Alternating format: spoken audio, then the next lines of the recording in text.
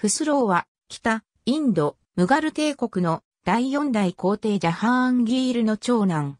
第五代皇帝シャージャハーンの兄にあたる。1587年8月16日、ムガル帝国の皇帝ジャハーンギールの長男として生まれる。母はアンベール王バグワントダースの娘マーンバーイである。ジャハーンギールが巫女時代に皇帝アクバルに反乱を起こした際、フスローは有力貴族マーンシングやミールザー・アジズ公家らによって父に代わる後継者に祭り上げられた。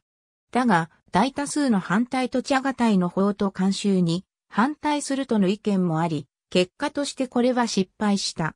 1606年4月6日、フスローは父ミカドに反乱するために、騎兵350機と共にアーグラを去った。彼はアクバル病に一旦滞在し、マドゥラーではフサインベグ率いる3000機が駆けつけた。その後、ラホールへと向かう途中、宿教のグルアルジュンも味方につき、支援を申し出た。フスローはラホールを包囲したが、間もなくジャハーンギール率いる軍勢が駆けつけ、彼は敗れた。その後、カーブルへ逃げようとしたものの、チェナーブ側を男とした際に追ってに捕らえられ、アーグラへ連行された。フスローは、ジャハーンギールの前に鎖につながれたまま引き出され、後投獄された。